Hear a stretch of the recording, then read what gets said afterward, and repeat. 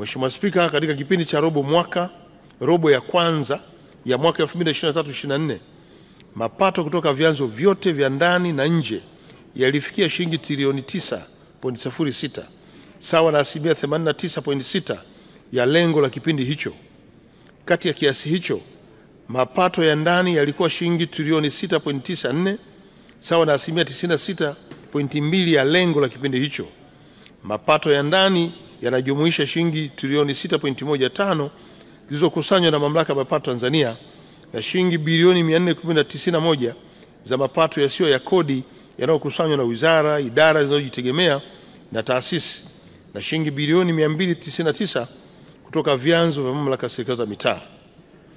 Mheshimiwa Spika, kuongezeka kwa mapato kunatokana na juhudi kubwa zinazofanywa na serikali ya awamu ya sita ikiwemo kuimarisha mifumo ya ukusanyaji wa mapato na kurahisisha ulipaji wa kodi. Katika hatua nyingine, kuimarika kwa mapato kumewezesha serikali kuendelea kuwahudumia wananchi kupitia ujenzi na uboreshaji wa miundombinu mbalimbali ikiwemo ujenzi wa hospitali na vituo vya afya na sekta ya elimu vile vile. Mheshimiwa Spika, kwa ujumla katika mwaka 2024/2025 msisitizo utawekwa katika kuchochea shughuli mbalimbali za kiuchumi, kuimarisha ushiriki wa Tanzania katika shughuli mbalimbali za kiuchumi na maendeleo. Vile vile msisitizo utawekwa katika kuimarisha ushiriki wa sekta binafsi katika maandalizi na utekelezaji wa mipango, uwekezaji na uzalishaji nchini.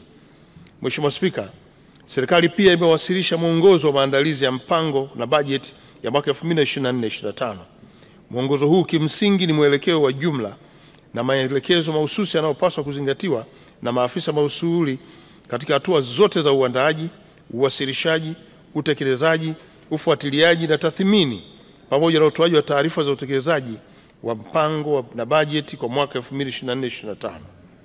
Mheshimiwa Spika, mwongozo huu umejikita katika kuhakikisha kuwa serikali inatekeleza vipaumbele vilivyoainishwa katika mpango wake wa maendeleo ya taifa wa miaka mitano ule ulioanza mwaka 2021 mpaka mwaka 2022 na kufikia mwaka 2025-26 ambavyo ni pamoja na kuchochea uchumi wa shindani na shirikishi, kuimarisha uwezo wa uzalishaji viwandani na utoaji huduma, kukuza uwekezaji na biashara, kuchochea maendeleo ya watu na kuendeleza rasilimali watu.